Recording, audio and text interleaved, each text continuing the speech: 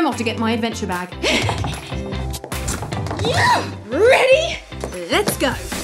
Bringing a Terry Pratchett story to life, you're just guaranteed joy, excitement, imagination, and beauty. You go from town to town pretending to be a plague of rats. It's all a big swindle! It's an adventure story that has cats, rats, and me in it. Ow! There's something behind me. It's about time! Talking animals to the rescue! Unbelievable. I was expecting something horrible yet interesting, some ghastly clue that would advance the plot. Ah! No wonder we didn't see it. Malicia as a character, she is an incredibly optimistic, bright-eyed and bushy-tailed young lady who lives in her imagination and lives for reading and lives for stories and lives to the fullness of life.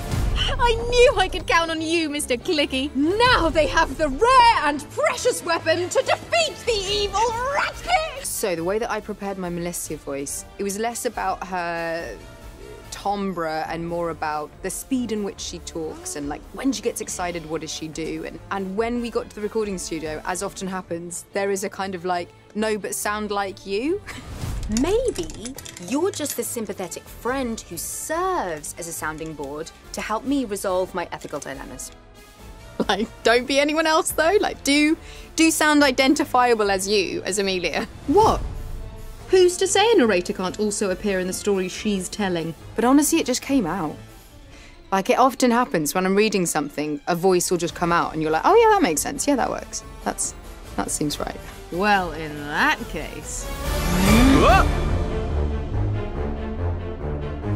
Shut up! I'm trying to hear the music.